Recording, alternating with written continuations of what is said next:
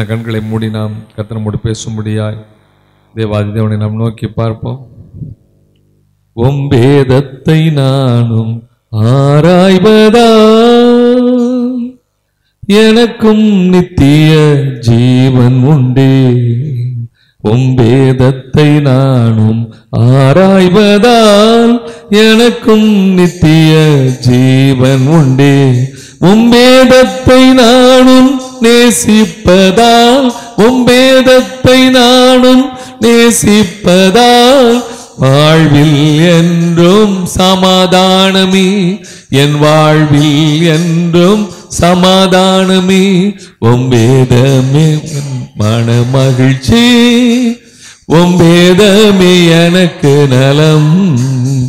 உம்பேதத்தையே நான் வாஞ்சிக்கிறேன். உம்பேதத்தையே வாஞ்சிக்கிறேன். நாள் முழுதும் அதுவே என் தியானம். நாள் முழுதும் அதுவே என் தியானம். நன்றியோடு நாங்கள் துதிக்கிறோம். திருவனந்தபுரம் இந்த ஆஸ்வதிக்கப்பட்ட இந்த வேளையிலும் கத்தாவே இந்த பைபிள் ஸ்டடி நீர் ஆஸ்வதி தரும்படியாய் தேவாதி தேவன் எங்களோடு இடைப்படும்படியாய் நம்முடைய சமூகத்தை நாங்கள் நோக்கி பார்க்கிறோம். எல்லாவற்றிலும் உம்முடைய நாம மாத்திரம் மகிமைப்படட்டும். எங்களை தாழ்த்துகிறோம். இயேசு கிறிஸ்துவின் அன்புள்ள நாமத்தில் ஜபிக்கிறோம். ஜீவனுள்ள நல்ல பிதாவே ஆமேன். ஹலோலியா வாசிப்போம். ஒன்று தெசலோனிக்கேயர் புஸ்தகம் ஒன்றாம் அதிகாரம் ஒன்றாவது வசனத்தை எடுத்து வாசிப்போம். பவுலும் சில்வானும் தீமோத்தேயும் பிதாவாய தேவனுக்குள்ளும் கத்ராய இயேசு கிறிஸ்துவுக்குள்ளும் இருக்கிற தெஸ்லோனிக்க சபைக்கு எழுதுகிறதாவது நம்முடைய பிதாவாகிய தேவனாலும் கத்ரா இயேசு கிறிஸ்துவினாலும் உங்களுக்கு கிருபையும் சமாதானம் உண்டாவதாக. அலலியா பிதாவாகிய தேவனுக்குள்ளும் கத்ரா இயேசு கிறிஸ்துவுக்குள்ளும் இருக்கிற தெஸ்லோனிக்கர் சபை. அலலியா நாம் இந்த நாளிலும் நம்முடைய ஆவிக்குரிய வாழ்க்கை கிறிஸ்துவுக்குள் கர்த்தருக்குள் தேவனுக்குள் கட்டி எழுப்பப்பட வேண்டும் என்பதை குறித்து வேத பாட வகுப்பிலே நாம் தியானித்து வருகிறோம். அதில் நாம் மூன்றாவது காரியமாக நாம் இப்பொழுது தியானித்துக் கொண்டிருக்கிறோம். முதலாவது நம் கர்த்தருக்குள்ள எப்பொழுதும் சந்தோஷமாக இருக்க வேண்டும் என்பதை தியானித்தோம். ரெண்டாவதாக இந்த உலகத்தில் தேவனுடைய பிள்ளைகள் எதை குறித்து மேன்மை பாராட்டி வாழ முடியும் என்பதை குறித்து கர்த்தருக்குள் நித்தமும் மேன்மை பாராட்டுவேன் என்று சங்கீத நாற்பத்தி நான்கு எட்டாவது வசனத்தில் சங்கீதக்காரன் சொன்ன வார்த்தையின் அடிப்படையில் நாம் தியானித்தோம். மூன்றாவதாக நாம் இப்பொழுது தியானித்துக் கொண்டிருக்கிறது ரெண்டு குருந்தியர் பன்னிரெண்டாம் அதிகாரம் ரெண்டாவது வசனத்திலே அங்கே அப்போஸ் பவுல் எழுதுகிறார் கிறிஸ்துவுக்குள்ளான ஒரு மனுஷனை அறிவேன். ஹalleluya. கிறிஸ்துவுக்குள்ளான மனுஷன் அவன் எப்படிப்பட்டவனாக இருக்கிறான் என்பதை குறித்து நாம் தியானித்துக் கொண்டிருக்கிறோம். ஹalleluya. அதுல ஒருவன் கிறிஸ்துவுக்குள்ள இருந்தா புதிய சிருஷ்டியாக இருக்கிறான். ஹalleluya. அதே போல ரோமர்கள் எழுதின நிறுவ ஆறாம் அதிகாரம் பதினோராவது வசனத்துல அப்போஸ்தலன் எழுதுகிறபடி நாம் பாவத்திற்கு மறித்தவர்களாயும் நம்முடைய கத்ரா இயேசு கிறிஸ்துவுக்குள் தேவனுக்கென்று பிழைத்திருக்கிறவர்களாக நம்ம எண்ணிக்கொள்ளுங்கள் என்று அவர் எழுதுகிறார். அல்லையா மூன்றாவது காரியமாக நாம் அதில் தியானித்தது ரோமர்கள் நிருபம் ஒன்பதாம் அதிகாரம் இரண்டாவது வசனத்துல அவங்க அப்போஸ் போல் எழுதுகிறார் நான் சொல்லுகிறது பொய் அல்ல. கிறிஸ்துவுக்குள் உண்மையை சொல்லுகிறேன். கிறிஸ்துவுக்குள் உண்மை அதை நாம் தியானித்தோம். நான்காவதாக ரோமர்கள் பன்னிரெண்டாம் அதிகாரம் நான்கு ஐந்து வசனங்களின்படி நாம் கிறிஸ்துவனுடைய சரீரமாக அவ சரீரத்தில் அவ- அவயவங்களாக இருக்கிறோம். அநேகராகிய நாமும் கிறிஸ்துவுக்குள் ஒரே சரீரமாக இருக்க ஒருவருக்கு ஒருவர் அவயவங்களாக இருக்கிறோம் என்பதை குறித்து நாம் தியானித்தோம். அப்போஸ் இப்போ ரோமர்கள் நிறுவனம் பதினாறாம் அதிகாரம் பத்தாவது வசனத்தில் கிறிஸ்துவுக்குள் உத்தமனாகிய அப்பலையை வாழ்த்துங்கள் என்ற வசனத்தின் அடிப்படையில் கிறிஸ்துவுக்குள் எது உத்தமம்? உத்தமமாய் நாம் எப்படி வாழ வேண்டும் என்பதை குறித்து நாம் தியானித்தோம். ஆறாவதாக ரெண்டு குருதிய இரண்டாம் அதிகாரம் பதினேழாவது வசனத்தில் நாங்கள் கிறிஸ்துவுக்குள் தேவ சந்நிதியில் பேசுகிறோம் என்று அப்போஸ்டன் எழுதுகிறார். அநேகரைப் போல நாங்கள் தேவ வசனத்தை கலப்பாய் பேசாமல் துப்புரவாகவும் தேவனால் அருளப்பட்ட பிரகாரமாம். கிறிஸ்துவுக்குள் தேவ சந்நிதியில் பேசுகிறோம் என்பதை குறித்து நாம் தியானித்தோம். இப்பொழுது நாம் தியானித்துக் கொண்டிருக்கிற காரியம் ஏழாவது காரியம் அப்போஸ் போல் கலாத்தியர்கள் நிருபம் ஒன்றாம் அதிகாரம் இருபத்தி ரெண்டாவது வசனத்துல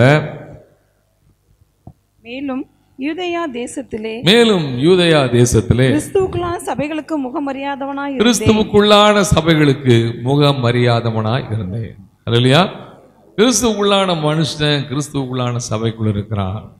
கிறிஸ்துவுக்குள்ளான சபை எப்படிப்பட்டதாக இருக்கிறது? ஒன்று திமுத்தின் புஸ்தகம் மூன்றாம் அதிகாரம் பதினைந்தாவது வசனத்திலே அப்போஸ்தலனாகிய பவுல் எழுதுகிறார் தாமதிப்பேன் ஆகில் தாமதிப்பேனாகில் தேவனுடைய வீட்டிலே நடக்க வேண்டிய வகையை நீ அறியும்படி தேவனுடைய வீட்டிலே நடக்க வேண்டிய வகையை நீ அறியும்படி இவைகளை உனக்கு எழுதுகிறேன். இவைகளை உனக்கு எழுதுகிறேன். அந்த வீடு ஜீவனுள்ள தேவனுடைய சபையாய் அந்த வீடு ஜீவனுள்ள தேவனுடைய சபையாய் சத்தியத்துக்கு தூணும் ஆதாரமா இருக்கிறது. சத்தியத்திற்கு தூணும் ஆதாரமாக இருக்கிறது.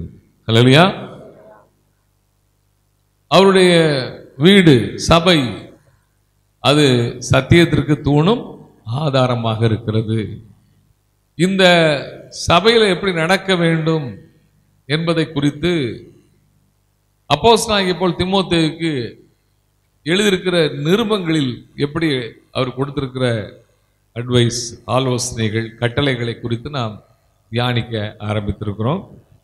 அதில் நாம் வந்து ஐந்தாவது காரியத்தை நாம் என்ன செய்கிறோம் இப்பொழுது? தியானித்து கொண்டிருக்கிறோம். ஹalleluya ஒன்று திமோத்தியின் புஸ்தகம் ஒன்றாம் அதிகாரம் பதினெட்டாவது வசனத்தில் குமாரனாகிய திமோத்தேவே உன்னை குறித்து முன் உண்டான தீர்க்க தரிசனங்களின்படியே நீ அவைகளை முன்னிட்டு நல்ல போராட்டம் பண்ணும்படி நீ அவைகளை முன்னிட்டு நல்ல போராட்டம் பண்ணும்படி இந்த கட்டளையை உனக்கு ஒப்புவிக்கிறேன். இந்த கட்டளையை உனக்கு ஒப்புவிக்கிறேன். நீ விசுவாசம் நல்மன சாட்சியம் நீ உடையவனாய் இரு. விசுவாசமும் நல் மனசாட்சியும் உடையவனாக இரு என்று எழுதுகிறார். இதில் நம்ம விசுவாசம் நல் மனசாட்சிகள் எல்லாம் ஏற்கனவே நாம் தியானித்தோம். இப்பொழுது நீ அவைகளை முன்னிட்டு நல்ல போராட்டம் பண்ணும்படி அந்த வார்த்தையை நாம் தியானித்துக் கொண்டிருக்கிறோம். நமக்கு எப்படிப்பட்ட போராட்டங்கள் இருக்கிறது? தேவனுடைய சபைக்குள் இருக்கிற நம்முடைய வாழ்க்கையில் எப்படிப்பட்ட போராட்டங்கள்லாம் இருக்கிறது? அதை குறித்து நாம் தியானிக்கும் பொழுது அதுல முதலாவது ஒன்று திமுத்தி நிமிஷம் ஆறாம் அதிகாரம் பன்னிரெண்டாவது வசனத்தில் அப்போஸ் ஆகிய பவுல் எழுதுகிறார் விசுவாசத்தின் நல்ல போராட்டத்தை போராடு. நல்ல போராட்டத்தை போராடு. நித்திய ஜீவனை பற்றிக்கொள். நித்திய ஜீவனை பற்றிக்கொள். அதற்காகவே நீ அழைக்கப்பட்டாய். அதற்காகவே நீ அழைக்கப்பட்டாய். அநேக சாட்சிகளுக்கு முன்பாக அநேக சாட்சிகளுக்கு முன்பாக நல்ல அறிக்கை பண்ணினோனுமாய் இருக்கிறாய். நல்ல அறிக்கை பண்ணின- பண்ணினனுமாய் இருக்கிறாய் என்பதை குறித்து விசுவாசத்தின் போராட்டம் விசுவாசத்தின் நல்ல போராட்டத்தை போராடு என்பதை குறித்து நாம் தியானித்தோம். அல்லையா விசுவாசம் இயேசு கிறிஸ்து வரும்போது எப்படிப்பட்ட விசுவாசத்தை அவர் எதிர்பார்க்கிறார் என்பதை குறித்து நாம் டீட்டெயில்டாக நிறைய நாட்கள் நாம் தியானித்து ரெண்டாவதாக நாம் தியானித்தோம் எபேசியர்களது நிருபம் ஆறாம் அதிகாரம் பன்னிரெண்டாவது வசனத்தில் நமக்கு மாம்சத்தோடு ரத்தத்தோடும் அல்ல துறைத்திறங்களோடும் அதிகாரங்களோடும் பிரபஞ்சத்தின் அந்தகார லோகாதிபதிகளோடும் வானம் மண்டலங்களில் உள்ள பொல்லாத ஆவிகளின் சேனைகளோடு நமக்கு போராட்டம் உண்டு அப்படிப்பட்ட போராட்டங்கள் எப்படி வருகிறது? அது தேவனுடைய பிள்ளை எப்படி ஜெயிக்க வேண்டும் என்பதை குறித்து நாம் தியானித்து வரும் பொழுது இந்த பொல்லாங்கன் பிசாசுக்கு பேரே பொல்லாங்கன். இவன் இந்த உலகத்தை இந்த உலகம் பொல்லாங்கனுக்குள் கிடக்கிறது என்று வேதம் சொல்கிறது. அதனால் நமக்கு இது எப்படிப்பட்ட போராட்டம் வருகிறது என்றால் இந்த பிசாசு மூலமாக வான மண்டலத்தின் பொல்லாத ஆவிகளின் சேனைகள் மூலமாக இப்பிரபஞ்சத்தின் அந்தகார லோகாதிபதிகள் மூலமாக எப்படி வருகிறது என்றால் எபிரேற்கல நிறுவனம் பன்னிரெண்டாம் அதிகாரம் நான்காவது வசனத்தில் அவன் பாவத்தை விதைக்கிறவனாக இருக்கிறான். பாவத்துக்கு விரோதமாய் போராடு ஆகையால் நாம் பாவத்துக்கு விரோதமாய் போராடுகிறதில் ரத்தம் சிந்தப்படத்தக்கதாக. நீங்கள் இன்னும் எதிர்த்து நிற்கவில்லையே. என்னை எதிர்த்து நிற்கவில்லையே. பாவத்துக்கு விரோதமான ஒரு போராட்டத்தில் தேவனுடைய பிள்ளைகள் ஜெயிக்க வேண்டும். இயேசு கிறிஸ்து நம்முடைய எல்லா பாவங்களையும் கல்வாரில் சுமந்து தீர்த்துட்டார். நம்ம ரட்சிக்கப்பட்டிருக்கிறோம். நம்மளை கர்த்தர் அவருடைய ரத்தத்தினால் கழுவி பரிசுத்தப்படுத்தி நீதிமானாக்கி விட்டார். ஆனாலும் நம் வாழுகிற வாழ்க்கையில் பிசாசானவன் என்ன கண்ணிகளை வைக்கிறான் பாவங்களை விதைத்து கொண்டிருக்கிறான். அதனால தான் அப்போசன் எழுதுகிறார் நீங்கள் பிசாசுக்கு இடம் கொடாதிருங்கள் பிசாசானவன் இப்படிப்பட்ட காரியங்களை எல்லாம் கொண்டு வருகிறதுனால தான் உங்கள் சரீரங்களில் பாவம் ஆளாதிருப்பதாக என்று ரோமர்களது நிருபம் ஆறாம் அதிகாரம் பன்னிரெண்டாவது வசனத்தில் அப்போசன் எழுதுகிறார். அல்லையா ஆகையினால் இந்த பிசாசானவன் எப்படிப்பட்ட பாவங்களை விதைக்கிறான்? இது ஆதியிலிருந்து இதுதான் செய்து கொண்டிருக்கிறான். மாம்சத்தின் இச்சை கண்களின் இச்சை ஜீவனத்தின் பெருமை. இந்த மாம்சத்தின் இச்சையை கண்களின் இச்சையெல்லாம் நம்ம தியானித்து ஜீவனத்தின் பெருமையை நாம் தியானித்து கொண்டிருக்கிறோம். அதில் மத்திய ஆறாம் அதிகாரம் ஒன்று முதல் இருபது வசனத்தில் இயேசு சொன்ன வார்த்தைகளின்படி அங்கே நீ தர்மம் பண்ணும்போது எப்படி இருக்கணும்? நீ உபவாசிக்கும் போது எப்படி இருக்கணும்? நீ ஜெபம் பண்ணும்போது எப்படி இருக்கணும்? எல்லாம் சொல்றாரு. இல்லையா? அப்போ இதெல்லாம் எதற்காக இயேசு எச்சரித்து சொல்கிறார் என்றால் தர்மம் பண்ணும்போது தம்பட்டை அடிக்கக்கூடாது. நீ ஜெபம் பண்ணும்போது உன் அறை வீட்டுக்குள் போய் இருந்து நீ அந்தரங்கத்தில் இருக்கிற பிதாவை நோக்கி அந்தரங்கமாக என்ன செய்யணும்? ஜெபிக்கணும்னு சொல்கிறாரு நீ உபவாசம் பண்ணும்போதும் அதையும் நீ தம்பட்டை அடிக்க வேண்டிய அவசியம் இல்லை. அதை நீ நல்லா குளித்து தலைக்கு என்னெல்லாம் பூசி என்ன செய்யணும்? நீ இருக்கணும் அப்படின்னு சொல்லி சொல்கிறார் அப்போ இதெல்லாம் எதற்காக விளம்பரப்படுத்துகிறார்கள் என்றால் அங்கே அவர்கள் புகழையும் பெருமையும் என்ன செய்கிறார்கள் நாடுகிறார்கள். இது ஜீவனத்தின் பெருமையாக இருக்கிறது. அல்லையா? இந்த ஜீவனத்தின் பெருமை அப்படி எல்லாத்தையும் சொல்லிட்டு தான் ஏசி சொல்லுகிறார். இரு ஆறு மத்திய ஆறு இருபத்தி ஒன்றில் உங்கள் பொக்கிஷம் எங்கே இருக்கிறதோ அங்கே உங்கள் இருதயமும் இருக்கும். இருக்கும். அல்லையா இந்த உலகத்துல மனிதனுக்கு பொக்கிஷமாக இருக்கிறது ஆஸ்திகள் பணம் புகழ். இதுக்கு தான் மனிதன் என்ன செய்கிறான் அடிமைப்பட்டு கிடக்கிறான். மாம்சத்தின் இச்சைகள் கண்களின் இச்சைகள் ஜீவனத்தின் பெருமைக்குள்ள விழுந்து கிடக்கிறான். எவ்வளவு பணம் சம்பாதித்தாலும் எந்த ஒரு மனுஷனும் எனக்கு பணம் போதும்னு நினைச்சுக்கிற சொல்றதே கிடையாது. அதிலே அடிமைப்பட்டு கிடக்கிறவனாக இருக்கிறான். ஜீவனத்தின் பெருமை இன்னும் உதவி உய- உயர்ந்து கொண்டே போகணும். எத்தனை பதவிக்கு வந்தாலும் இன்னும் என்னெல்லாம் செய்யலாம் அப்படின்னுங்கிற நிலைமையில ஓடுறான். ஆனால் தேவனுடைய பிள்ளைகள் எது பொக்கிஷம் என்பதை நாம் அறிந்து கொள்ள வேண்டும் என்பதை குறித்து நாம் தியானிக்கிறோம். அதில் முதலாவது ஆக கடந்த வாரத்தில் நாம் பார்த்தோம். ஏசியாவின் திரு- திருக்க தரிசன புஸ்தகம் முப்பத்தி மூன்றாம் அதிகாரம் ஆறாவது வசனத்தில் அங்கே தீர்க்கதரிசி சொல்லுகிற ஒரு வார்த்தை. பூரண ரட்சிப்பும் ஞானமும் அறிவும் உன் காலங்களுடைய உறுதியாகி இருக்கும் உன் காலங்களுடைய உறுதியா இருக்கும் பூரண ரட்சிப்பும் ஞானமும் அறிவும் இதுதான் உன் காலங்களுடைய உறுதியா இருக்கும் கர்த்தருக்கு பயப்படுதலே அதன் பொக்கிஷம். அப்ப கர்த்தருக்கு பயப்படுதலே அதன் பொக்கிஷம். நம்ம பூரண ரட்சிப்பு அடைவதற்கு தேவனை அறிகிற அறிவிலை வளர்வதற்கு கர்த்தருடைய அனந்த ஞானத்தை பெற்றுக்கொண்டவர்களாக நாம் இருக்க வேண்டும் என்றால் அதுக்கு பொக்கிஷம் எதானா? கத்தருக்கு பயப்படுதல். இதுதான் நம்முடைய வாழ்க்கையில நம்ம பொக்கிஷமா கொள்ள வேண்டும். கர்த்தருக்கு பயப்படுகிற பயம் நம்முடைய வாழ்க்கையில இருக்க வேண்டும் என்பதை குறித்து நாம் தியானிக்க ஆரம்பித்தோம். இல்லையா கத்தருக்கு பயப்படுகிற மனிதன் அவன் இம்மைக்குரிய மறுமைக்குரிய ஆவிக்குரிய உன்னதத்தின் ஆசிர்வாதங்களினால் ஆசிர்வதிக்கப்படுகிறவனாக இருக்கிறான். இல்லையா கர்த்தருக்கு பயப்படுகிற குடும்பத்தை கத்தர் ஆஸ்வதிக்கிறார். கர்த்தருடைய ரகசியம் அவருக்கு பயந்தவர்களிடத்துல இருக்கிறது என்று சங்கீதம் இருபத்தி அஞ்சு பதினான்கு சொல்கிறது. கர்த்தருக்கு பயப்படுகிற பயப்படுகிறவனுக்கு தான் தெரிந்து கொள்ளும் வழியை அவனுக்கு கத்தர் நினைச்சுவாரா போதிப்பார் என்று சங்கீதம் இருபத்தி ஐந்து பனிரெண்டு சொல்லுகிறது இல்லையா சங்கீதம் நூற்றி இருபத்தெட்டு சங்கீதம் நூற்றி பனிரெண்டு இவைகள்லாம் சொல்லுகிற வார்த்தை கத்தருக்கு பயப்படுகிற மனுஷனுக்கு எப்படிலாம் ஆசீர்வாதம் இருக்கு? இல்லையா அப்போ நமக்கு அந்த கத்தருக்கு பயப்படுகிறது நமக்கு பொக்கிஷமாக இருக்கிறதா? நம்ம எதை பொக்கிஷமாக நினைக்கிறோம்?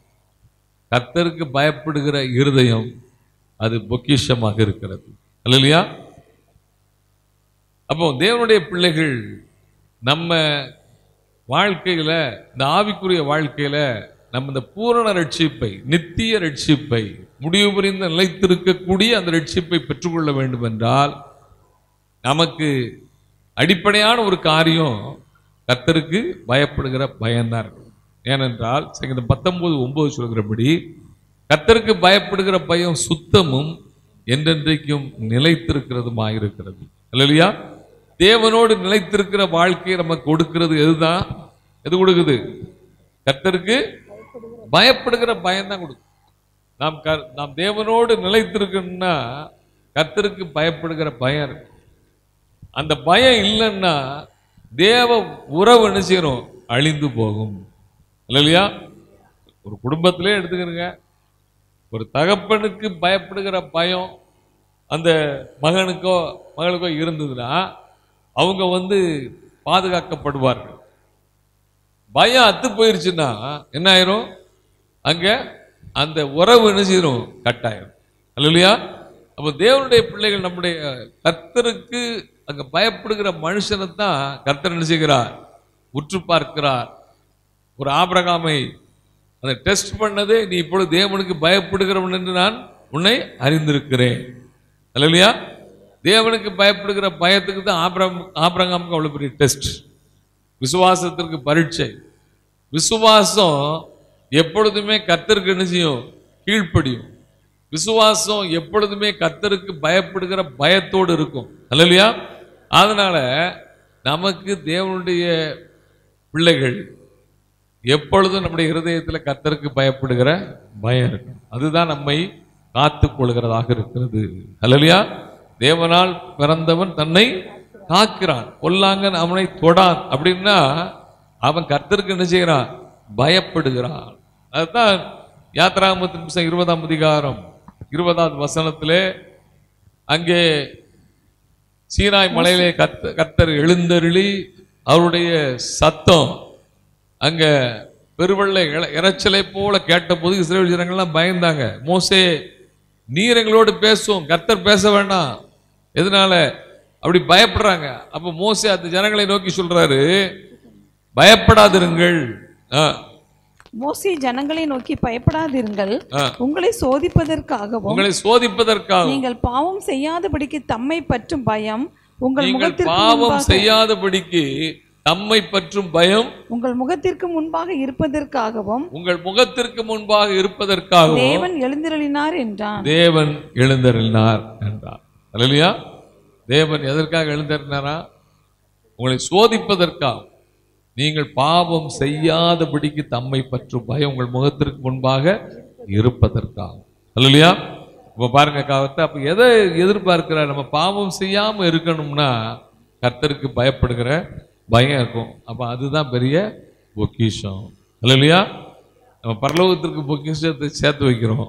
பரலோகத்துக்கு போகிறதுக்கு உள்ள அந்த தகுதி கர்த்தருக்கு பயப்படுகிற பயத்தின் மூலம் இருக்கிறது. அதுதான் நீதிமொழியில் பத்தொன்பது இருபத்தி மூணு சொல்கிறது. கர்த்தருக்கு பயப்படுதல் ஜீவனுக்கு எதுவானது அதை அடைந்தவன் திருப்தி அடைந்து நிலைத்திருப்பான். தீமை அவனை அணுகாது. அல்லையா ரெண்டாவது பொக்கிஷம் நமக்கு எது?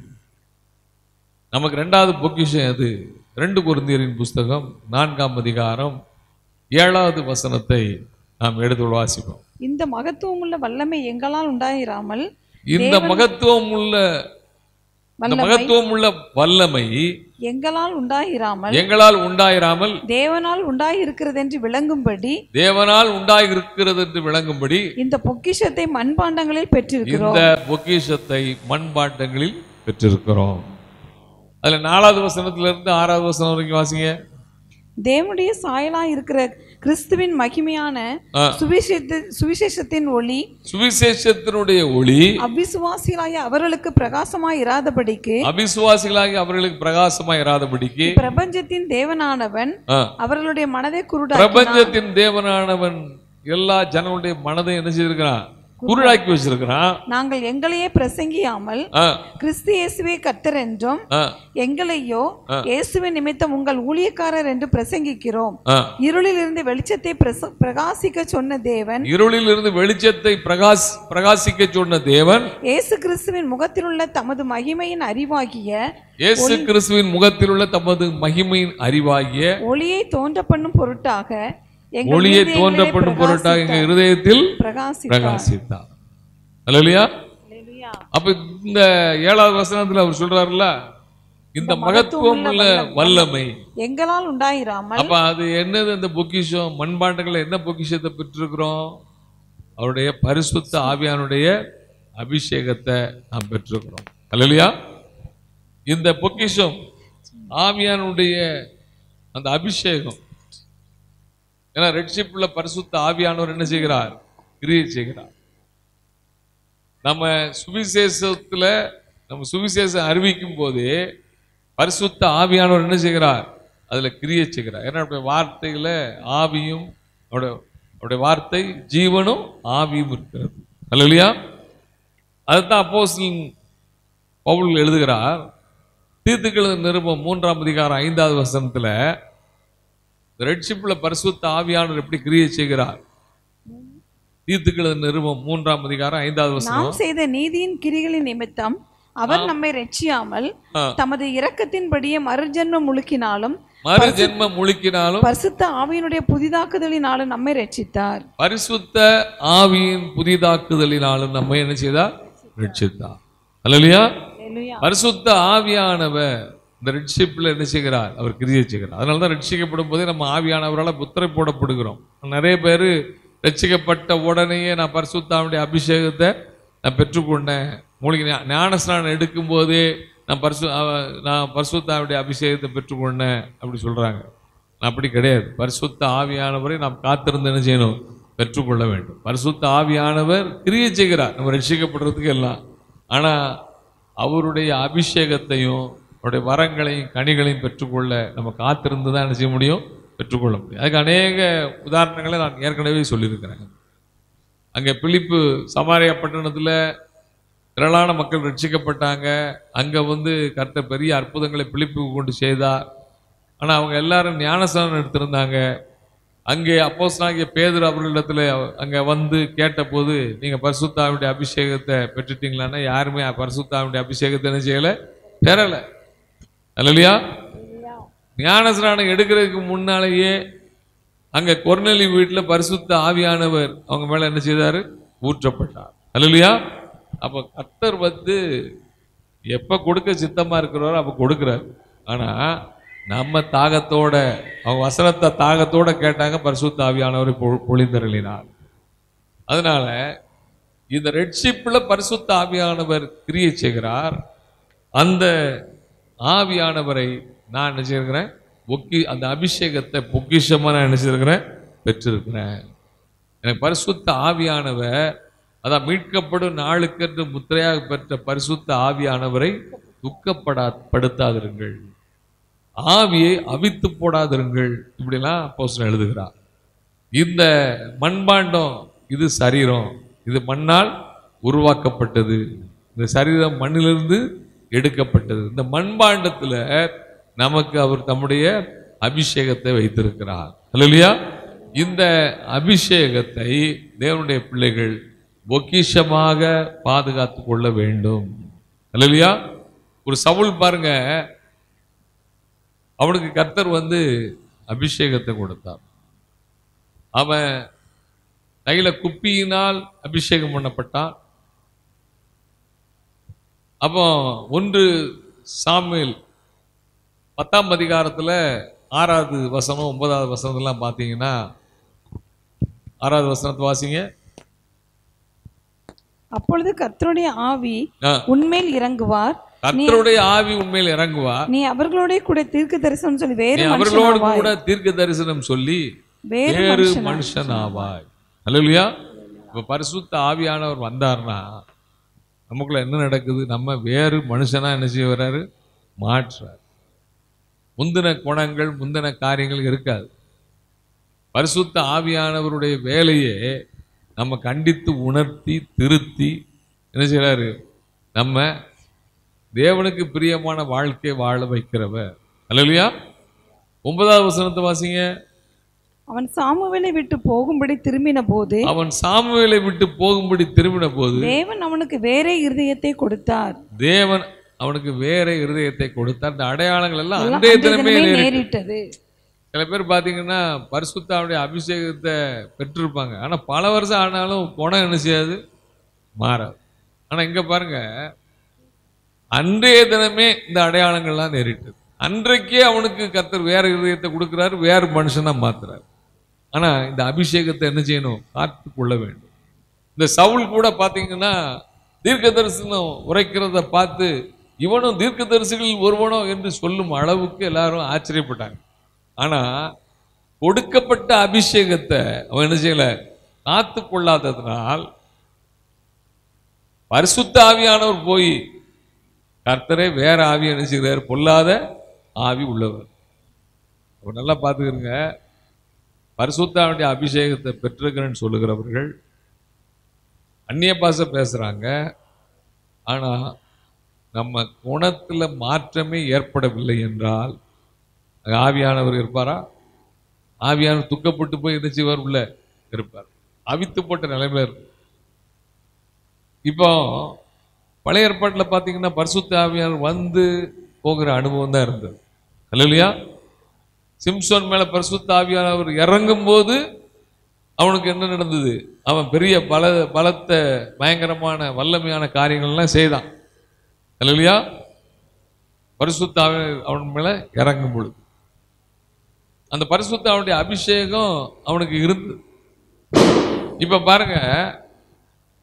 இந்த பரிசுத்த ஆவியானவர் நியாயாதிபதி நிமிஷம் பதினாறாம் அதிகாரம் இருபதாவது வசனத்தில் பார்க்கும் பொழுது இவனுடைய பாவங்களினால் இவன் மாம்சத்தின் இச்சைகளினால் தன்னுடைய எதை சொல்லக்கூடாதோ அதை தெளிலாள்கிட்ட சொன்னதுனால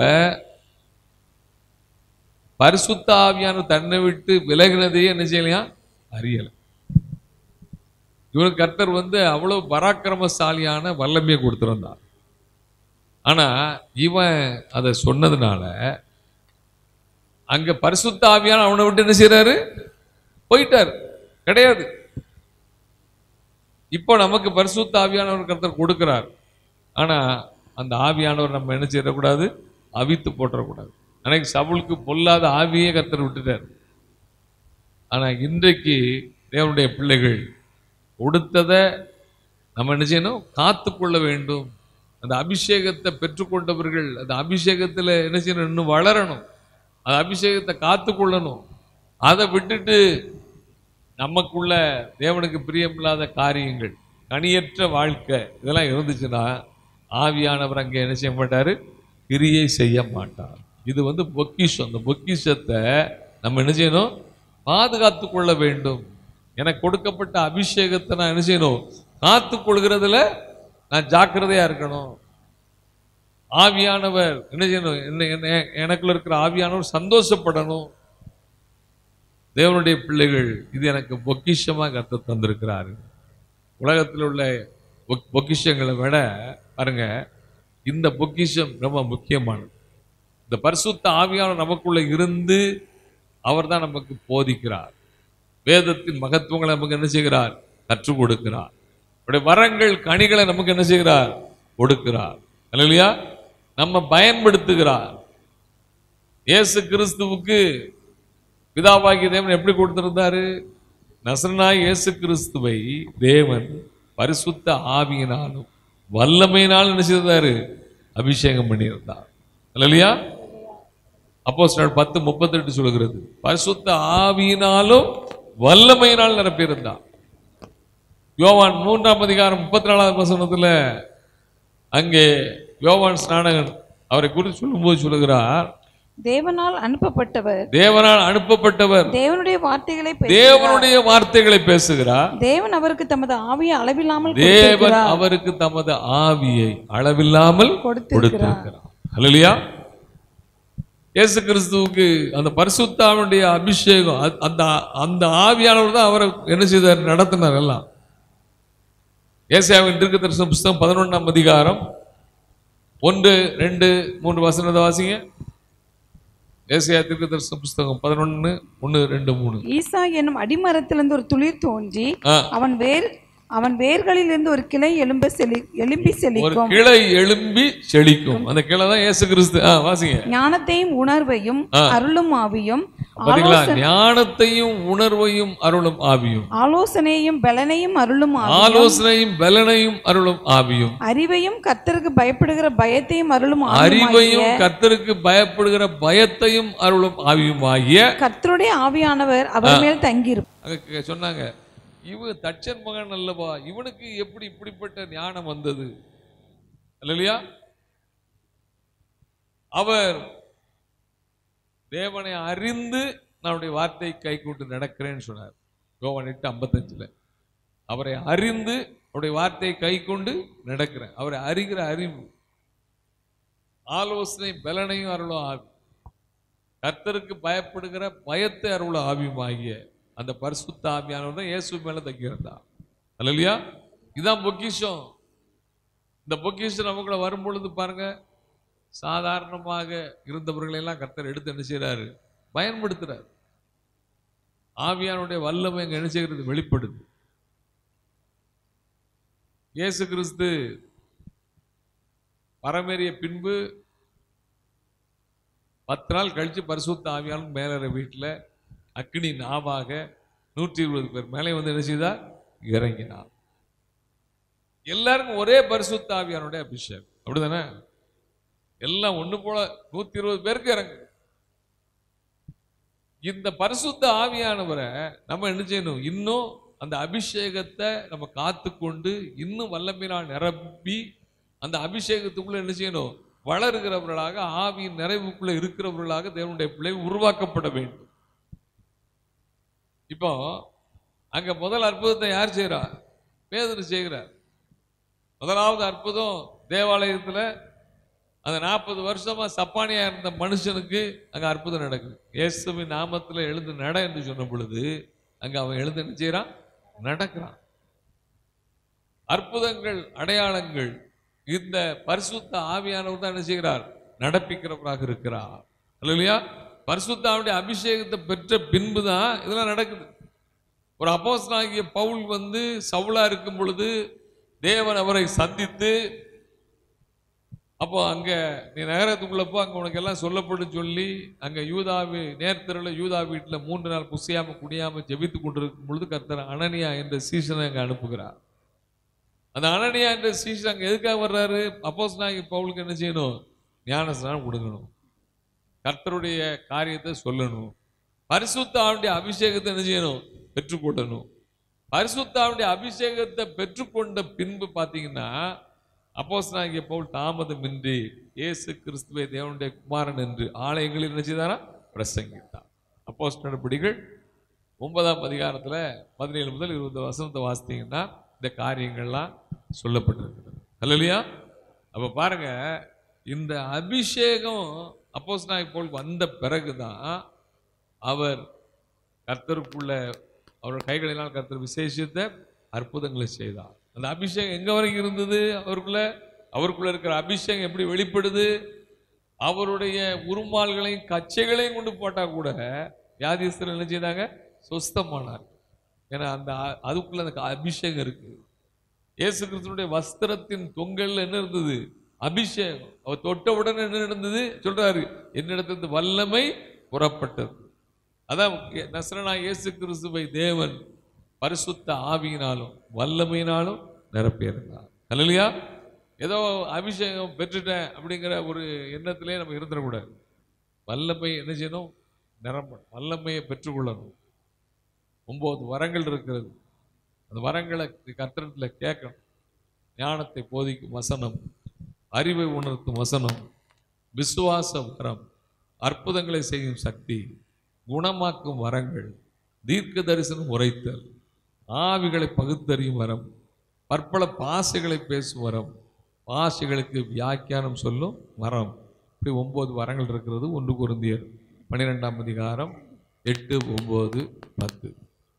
ஏழாவது வசனம் சொல்லுது ஆவியினுடைய அணு அனுக்கிரகம் ஆவியினுடைய அணுக்கிரகம் அவனவனுடைய பிரயோஜனத்திற்கென்று அளிக்கப்பட்டிருக்கிறது. அவனவனுடைய பிரயோஜனத்திற்கென்று அளிக்கப்பட்டிருக்கு. இந்த அபிஷேகத்தை காத்து கொள்றது ரொம்ப ஜாக்கிரதை. இது இந்த அபிஷேகத்தை கத்து எனக்கு எதுக்காக கொடுத்துருக்காருன்னா என்னுடைய பிரயோஜனத்திற்கு தான் கொடுத்துருக்கிறார். நான் இந்த பூமியில் அவருடைய சித்தத்தை என்ன செய்யணும்? செய்வதற்கு பரிசுத்த ஆவியனுடைய அபிஷேகம் என்னை நடத்துகிறது. இல்லையா இந்த பூமியில கர்த்தருடைய அந்த கட்டளையை நிறைவேற்றுவதற்கு சுவிசேஷம் அறிவிக்கிறதுக்கு இந்த அபிஷேகம் தான் நீ நடத்தும். இல்லையா அபிஷேகத்தை பெற்ற உடனே தாமதமின்றி சுவிசேஷகரா ஊழியம் செய்ய ஆரம்பிச்சிட்டார். அப்போ சொன்னாங்க பவுல். அபிஷேகத்தை பெற்ற உடனே. அடிக்கடி நான் உங்களுக்கு சொல்றேன் இந்த அபிஷேகம் எனக்கு பேர் புகழ் சம்பாதிக்கிறதுக்கு நான் போய் ஜபிச்சு அங்கே அற்புதம் நடந்தது பிசாசு ஓடிச்சு அதுக்கு கிடையாது. இல்லையா கோவான் ஸ்நானகன் சொன்னாரு நான் சிறுகனும் அவர் பெருகணும் இல்லையா இன்னைக்கு ஏசு கிறிஸ்துவையே சிறுக வச்சு அவங்க என்ன செய்கிறாங்க புகழ் எல்லாத்துலயும் பெருகணும்னு நினைக்கிறாங்க. நமக்கு இங்க கர்த்தர் இயேசு கிறிஸ்து என்ன செய்யணும்? மைமைப்படணும் எல்லா காரியத்திலும். அவர் பெருகணும். இல்லையா நம் மூலம் நடக்கிற கிரியையின் மூலம் தேவனுடைய நாமம் மைமைப்படணும் இல்லையா இயேசு கிறிஸ்து எத்தனையோ அற்புதங்கள் அடையாளங்கள் எல்லாம் செய்தாரு.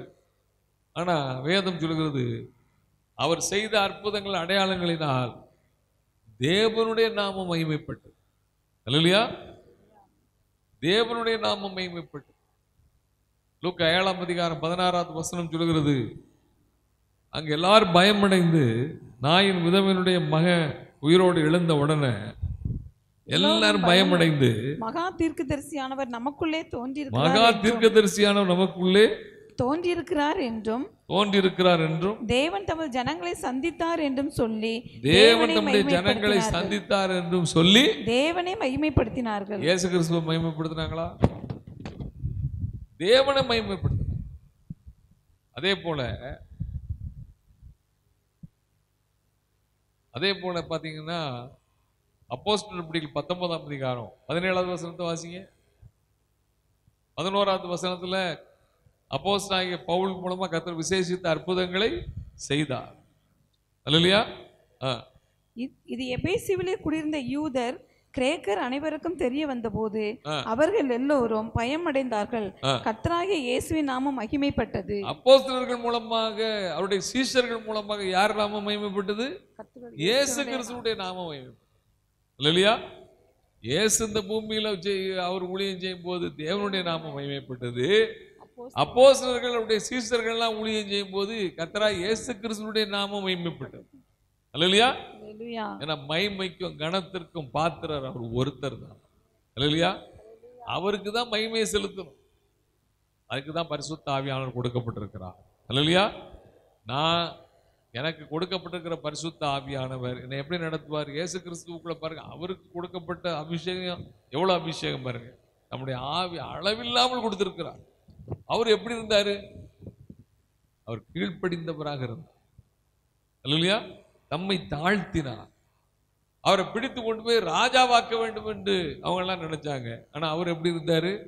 அவங்களுக்கெல்லாம் மறைந்து போனார்.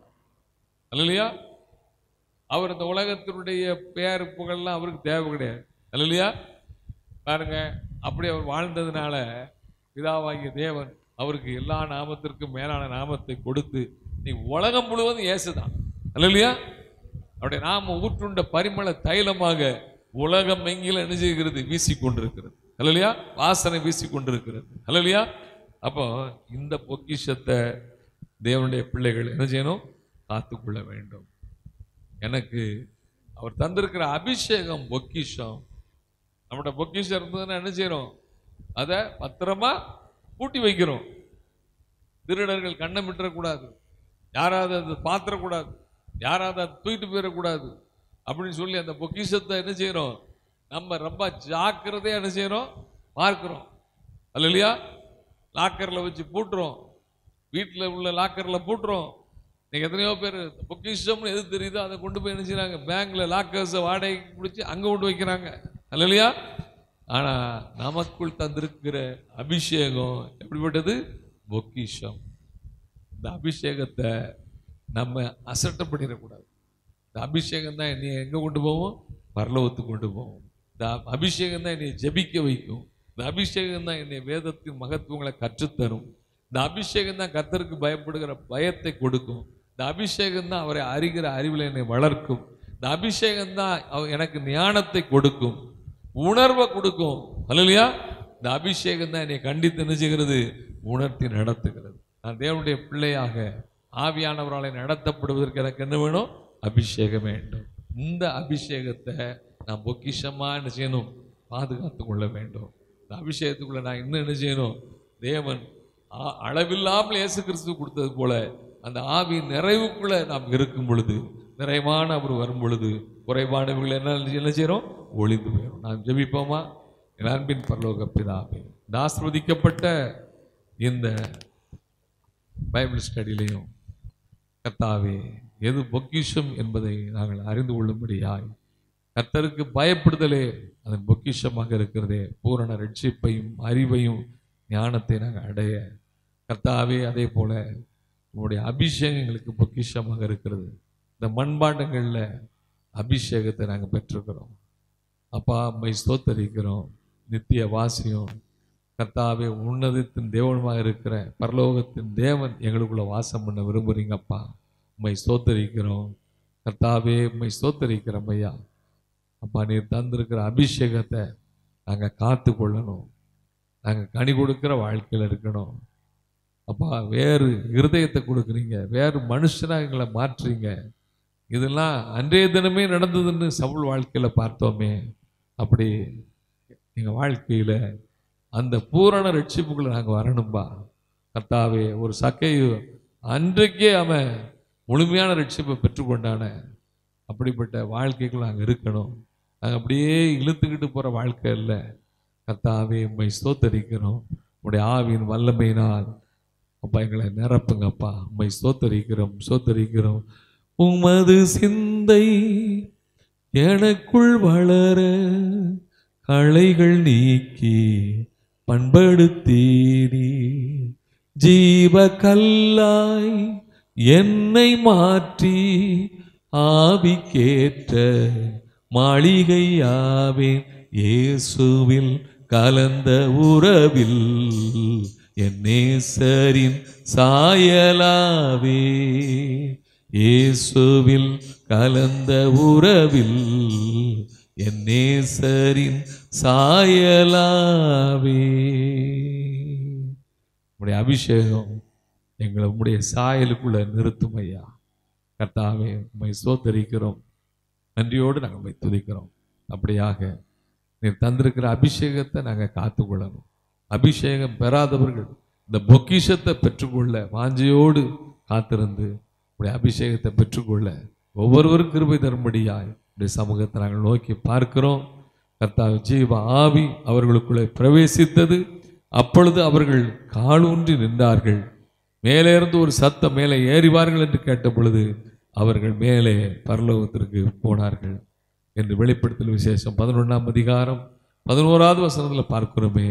பரிசுத்த ஆவியானவர் எங்களுக்குள்ளே இருந்தாத்தான் அந்த ஜீவ ஆவியானவர்களுக்குள்ளே இருந்தாத்தான் நாங்கள் காலூன்றி நிற்க முடியும். அந்த ஆவியானுடைய அபிஷேகங்களை பரலோகத்துக்கு கொண்டு போகும். கர்த்தாவே உண்மை ஸ்தோத்தரிக்கிறோம். இந்த கிருபையை நாங்கள் காத்துக்கொள்ள எங்களுக்கு அதிகமான கிருபையை தருவீராக. அந்த ஒவ்வொரு பிள்ளைகளையும் ஆசிர்வதிங்க. துதி கன மைமையெல்லாம் செலுத்துகிறோம். மீட்பர் ரட்சகரமான இயேசு கிறிஸ்துவின் வல்லமையுள்ள நாமத்தில் ஜெபிக்கிறோம். ஜீவனுள்ள நல்ல பிதாவே ஆமே நாத்துமாவே கத்தரை ஸ்தோத்தரி. என் முழு உள்ளமே அப்படி பரிசு நாமத்தை ஸ்தோத்தரி. நாத்துமாவே கத்தரை ஸ்தோத்தரி. கர்த்தர் செய்த சகல பாரங்களை மறவாதே. ஆமே ஹalleluya. ஹalleluya.